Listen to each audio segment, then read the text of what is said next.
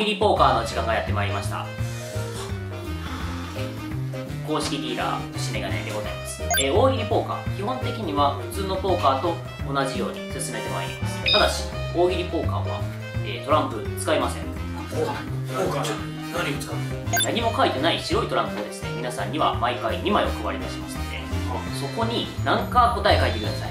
お題はあのその時点では出しませんのでうわなんか引っかかりそうっていう答えを書いてください先に予想するれ。はい、5個お題が出ますので皆さんの書いた答えどちらかと場に出ているお題1つそれを対応させてですねまあ1個のね受け答えを完成させてください。それがお一番面白かった人がその回の勝者になりますよ、なるほどな。面白いってのはディーラーが判断する。んですかえー僕がね面白いって思ったやつが一番強いです。なるほえーそしてね皆さんのお手元には10枚チップがあると思いますがこれがなくなってしまった人負けでございます。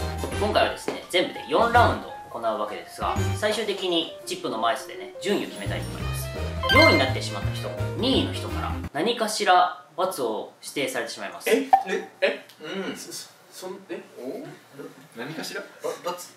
え3位の人1位の人に何かほどほどのものをプレゼントしなければいけません。おお、はい。よろしいですか？なので1つでも順位は上の方がいいですね。なるほど。なるほどデスゲームといえばデスゲームとか？ですだよこれは。これ決まってないんでしまあこのポーカーお題はねちょっとふわっとしたものになっておりますのでそれも読みつついろんなものに対応できるような答えを書いてそしてねこれが一番大事なんですけど虫眼鏡に刺さるかどうかっていうのがミソですのでそこら辺も考えてやってください。まあちょっとルール複雑ですので軽くテストプレイも兼ねて1回目やってみましょう。かはい。はい、はい、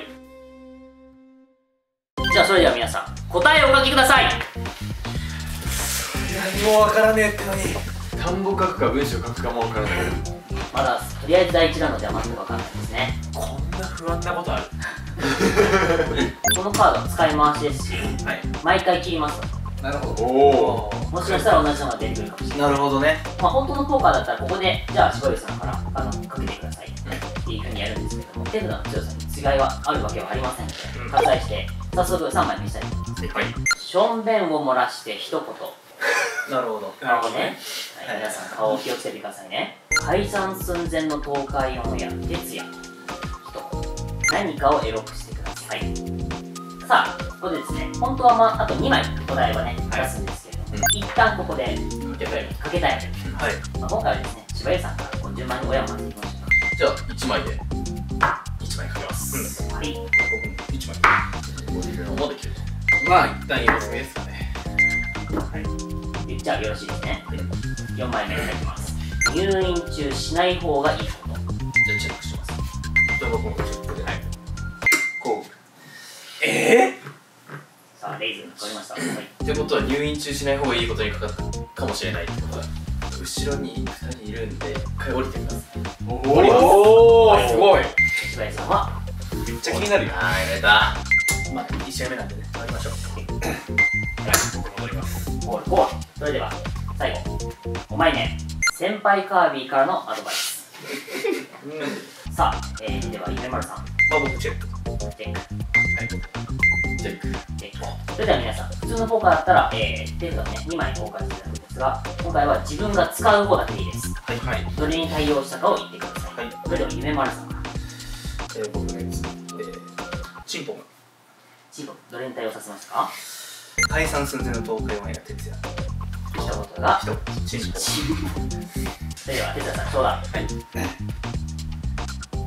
血毛ガニ1年分これは、何かをエロくしてください顔を選ぶしてください。えー、しょんべんを漏らして一言ゴーヤじゃんうんこだろそれはうんこだったらねクリが当たったんじゃないなるほどねレイズしてよかった完全に。セリフだもんなというわけで、なんとなくわかりますね。つかめましたはい雰囲気はそれでは、皆さん、お書きください。先ほど柴吉さんはフォローしましたが、自信なし。いやなかったですねドクターエッグマンと片目濃いめレジュメって書いてあったんでもう、何にも刺さってなくてさすがに確かにそれが刺さる答えがあるんですよ。そうなんですよねいやちょっとかかってるものでかいんじゃないただただただ罰作るって怖くない？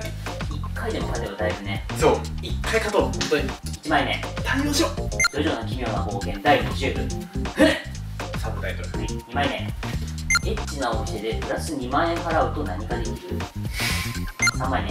はじめ社長。どうやって倒す？さあそれでは夢丸さん。一番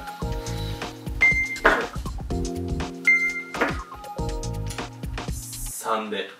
やりすぎだってば。あー絶対ハったりなんだよな。合うはずがないハったりだからといって乗らないと相手が得するしな。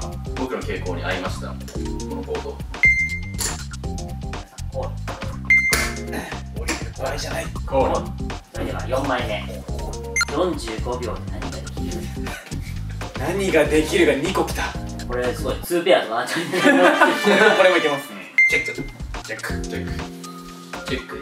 でいいはいじゃあ5枚目じゃあ5枚目何何何写真で一言きた。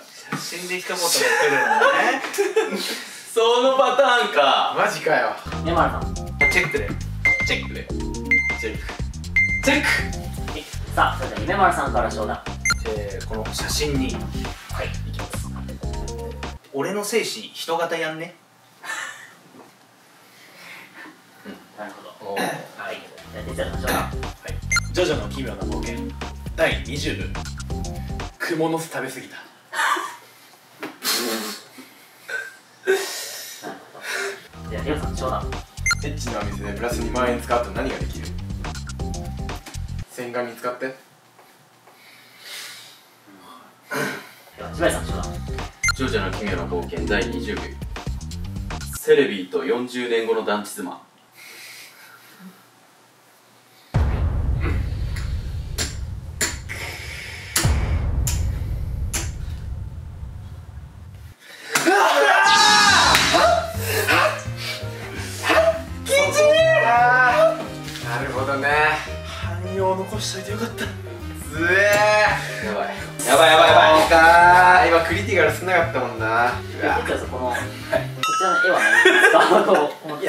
ワンチャンどうなったとかね。的なやつでしょ。的なね。うん。うんなんかあるかなと思ったんですけど。それではお書きください。やべえあと2個しかない。だな。弱いの書いちゃった。弱いの書いてんのよ聞いちゃったみたいに言わないで。さあそれでは参りますね。1枚目。透明人間になり何する？解散寸前の海洋や徹夜おつなことをしてくださいことをしてくださいさあ参りましょう哲也さんまあちょっと強気で2枚。さあ苦しい。感じない。2人コールさあ降りないねみんな。なんでこんな降りんの4戦だけだからねもうや行くしかないんだよもさあ祈ってください4枚目徹夜ファンクラブの入会条件とは？チェック。レイスわーお2枚ついよあれ。まだ5枚目見えてないですね。おいえ何？ー、ここで負けるかもしれないぞ。夢丸オールインオールインするか降りるか。降りるでしょ。おゴー。ルここまで。まあ別に俺はそんな悩む理由もないんだよ。ちょっとやばいはい。はい。マネーが。これがうわーこれ勝ったら1位じゃん。最後赤ちゃんが生まれて初めて叱られた。チェック。まあチェックはい。それでは哲也さんから冗談はい。徹夜ファンクラブの入会条件。パイフォン16はい。りょうさん冗談解散寸前の10日目なんですよ意外とパチンコでどうにかなるから。おおお解散寸前にね。はいなるほど。さん冗談解散寸前の動画が徹夜一言筆ペン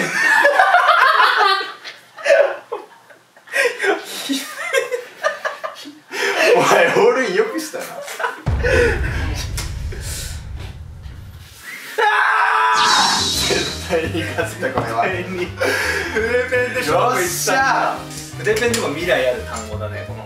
笑いで言ったら一番そうだね。これはどれが決定ってことですか？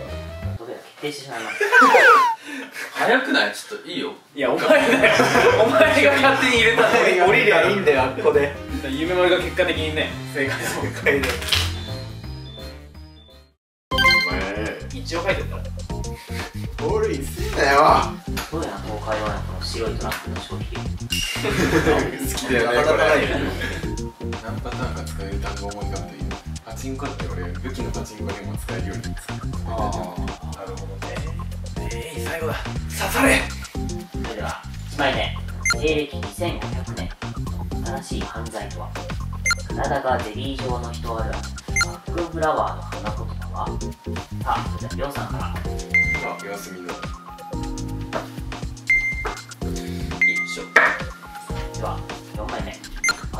ジャイアンに何をしてしまった2枚目もう。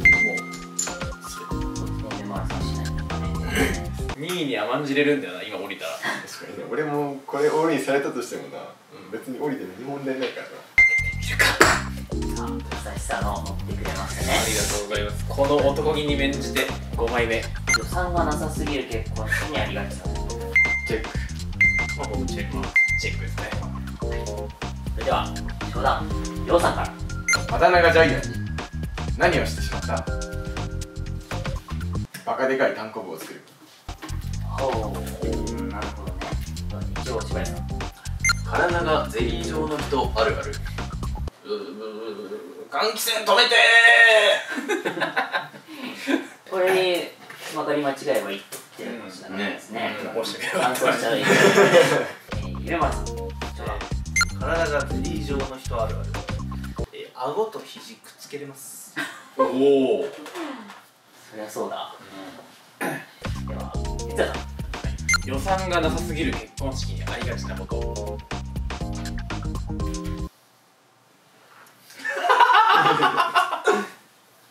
予算ないから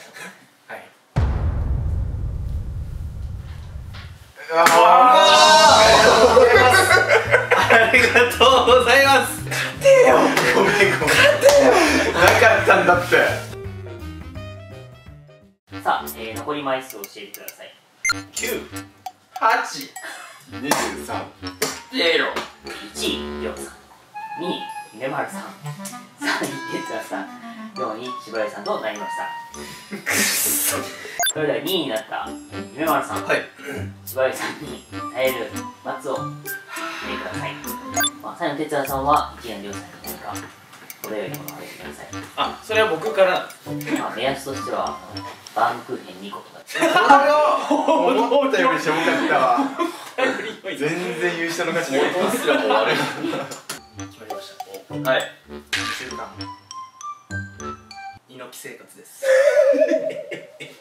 まあ格好はまあ普通ですよ、まあ、黒スーツに赤ネクタイに赤タオルなんですけどこう撮影日とかこうガチャッとやった瞬間に「元気ですか!」あー。で「ダー」までね「ダー」朝一やってもらいます。あーいいこと元気出るから。何の関係があるんだ。こうか